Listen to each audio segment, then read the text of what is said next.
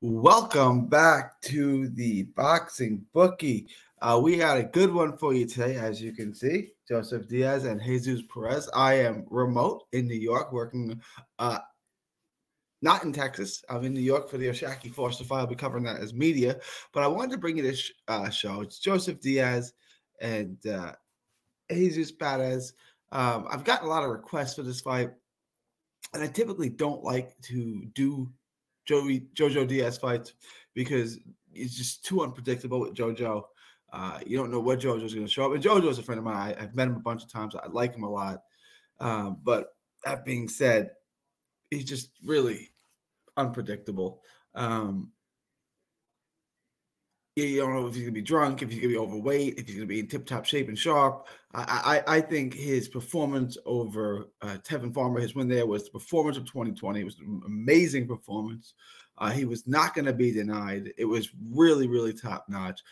Uh, but then he goes in and, and like whack him off. He he just like no shows it. And eh, he's a frustrating guy. But before we get into all that, please like, share, and subscribe. Follow 3D Boxing, 3D Boxing blog at all forms of social media. Uh, the Boxing Bookie comes at you for every single major fight, showing you how to uh, bring down the house and consistently make money betting on the sport of boxing. The odds makers, the bookies, they don't know what they're doing. I do. Uh, I'm going to show you how to uh, beat the odds, bring down the house. Uh, there's always a bull market somewhere, but I don't gamble, but if you guys do, uh, you guys do bet on sports, bet on boxing. Uh, I'm going to show you how to consistently make an income betting on, on sport boxing. We were 4 0 last week. Uh, we're going to do it again this week. Um, well, join my Patreon. Uh, if you join my Patreon, you get the lock of the week. I just put out a great lock of the week. Just put one out today. Uh, if you join the Patreon uh, before tomorrow, uh, you'll get that. It's just five dollars a month. You get the lock of the week. You can ask me anything. Get a lot of requests. You get a free T-shirt. You get a ton of good perks. A ton of awesome perks. Uh, but please like, share. Uh, please subscribe to the Patreon. Also follow my other channel, Texas Boxing Scene. I'm going to be uploading a lot of content uh, from the weigh-in and, and from the fight night, uh, from the O'Shaquie Force Abraham Nova fight, from the Garden. So check that out. Uh, I've totally lost my train of thought here.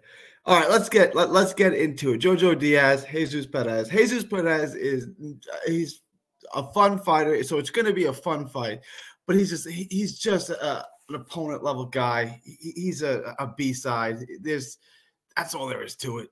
I'm not trying to disrespect the guy. I'm I'm not trying to throw any shade on him. He's just he is what he is, and he's an opponent. He's tough as hell. He went the distance with Alexis Rocha in a fight where he was embarrassingly undersized. So I give him full credit for taking the fight, but the reality is he's not at that level. He's fun and he can make it competitive, but he's an opponent level guy. Tough, aggressive, front foot fighter will fight the entire fight in a phone booth, and he may do that. He may just do that. Let me get this pulled up here. Just to give you some of the. He lost to Brian Norman, lost basically every round. He lost to Alexis Rocha, got dominated. He lost to Daniel uh Danielito Zorrilla, lost every round. Lost to Carlos Diaz. He's I mean it's it, it, Ruslan Medvedev lost every round almost he's not going to beat Jojo Diaz. I think he can make it competitive to a point. I think the odds are a little wide, which is why I didn't really want to touch this, but he kept getting requests for it. The guy's got a good chin. He throws hard. He's flat footed. He crosses his feet. He comes in wide open. He's good on the inside. He's got good skills on the inside, offensively speaking, but he leaves himself so wide open. He throws good combinations, but he leaves himself so wide open to be tagged. He's just, he's really he's not a terrible fighter and he can beat guys, but at, at this level, no, he's gonna lose. He's just I, I mean, I, I just can't. He's just not at a world class level, and, and Jojo Diaz is. He's got a really bad habit of resetting too. You'll, you'll notice this, right? Like if if if, if you, you jab at him, or Jojo Diaz case throw a straight left, he's got to reset. He's got to reset. So at a distance, so he can't really punch in between your punches. He's got to reset, and he's got to reset, and it's just, it's not good. Jojo Diaz is a master of punching in between your punches.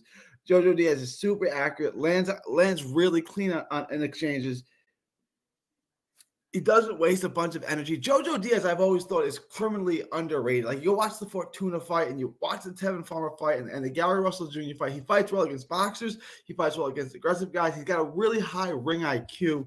He cuts off the ring really well. He, like I said, doesn't waste energy. He's not an easy guy to counter. He's defensively responsible. He's he's got you know not quick feet but good feet.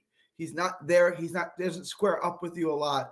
He's really, really good on the inside. Like I said, he can throw every single punch in a phone booth, in the mid range, up tight. He can throw everything. He doesn't make a lot of rookie mistakes. He's just he's clean, and I think his skills are highly, highly underrated. He blocks a lot of shots you know what he can do is he does shell up at times a little bit. It's not a major problem, but it is something I, I, I picked up on. He's got a tight high guard. He's got the he's got the good southpaw jab. Really good body puncher. I think he's a bit shot. I think he's a little bit past his prime. But Jojo Diaz is is is is a is a good fighter. He's not just a forward come forward pressure. Remember, this guy was an Olympian. He's got really good skills. He can box a little bit. You know, he, he's not lightning quick but he's got a ton of skills. And then his power is not great, but it's not horrible. He he rocked Fortuna. He's he's not. He, he gave Devin Haney problems, right? Like he gave Gary Russell problems. He beat Tevin Farmer, which is his signature win. He's got wins over Fortuna. He's got a, a, a bunch of quality wins. And I, I think this fight is competitive, but I just think Jojo Diaz, assuming he's in shape and, and assuming he's sharp, and on top of that, Golden Boy really wants to make the fight at 135 with him and Kid Austin with Floyd Schofield. They really want to make that fight. So, if anything, if this fight is close, it's going to go to JoJo. I mean, JoJo's their guy, and uh, Badass is their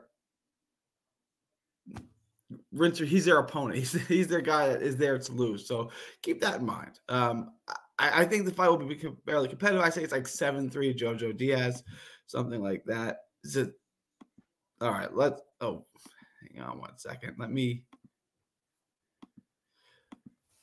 pull up the odds here.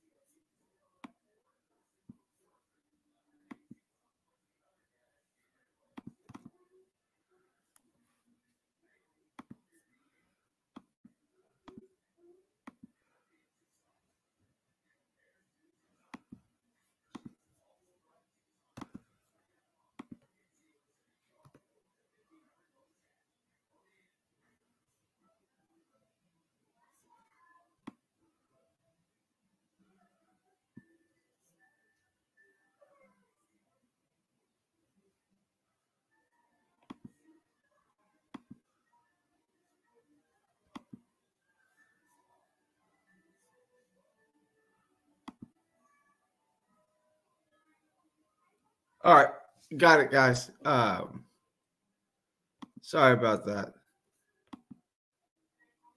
Why? Hang on one second. Let me try this again. I apologize. I apologize. Here it is. Sorry for that. That was embarrassing, but let's take. Can you guys see this? Yeah, you can see this. Sorry about that. I was trying to get this pulled up. All right, so this is what we're looking at here. Jojo Diaz minus 750 make a one times bet on that. Jojo Diaz over eight and a half. I like that. You know, he's a guy that went the distance. I said with Alexis Rocha. I don't see Jojo stopping him, so I like it over eight and a half. So that's a two hundred dollar bet. That makes it 33 33 Pretty good odds. And uh, if you want, you can just do this.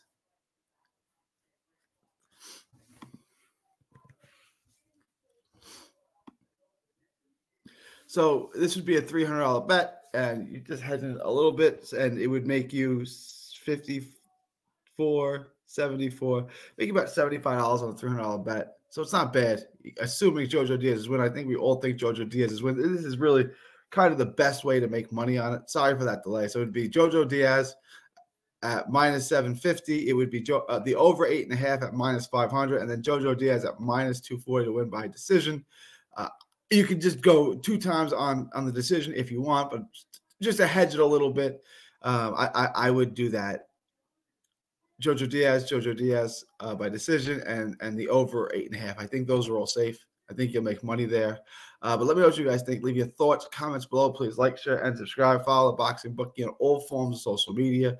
Uh, the Boxing Bookie comes to you for every major fight, showing you how to bring down the house. Please subscribe to the Patreon. Uh, subscribe to the Patreon. You get it's just five dollars a month. You get the lock of the week, which I already put in there for you guys. It's it's a nah, it's a, it's an absolute home run this week. It's a, it's a three play parlay, which you guys can make money on. It's easy. It's from showing you how to make money. Also, subscribe to the channel Texas Boxing Scene on YouTube. It is February 14th, 2024. I'm not in Texas. I'm in New York today. So from New York to the world, uh, thank you and God bless. Don't miss a tweet, post, story, or video. 3D Boxing is on Twitter, Instagram, and Facebook. Hit the subscribe button now to stay inside the ring.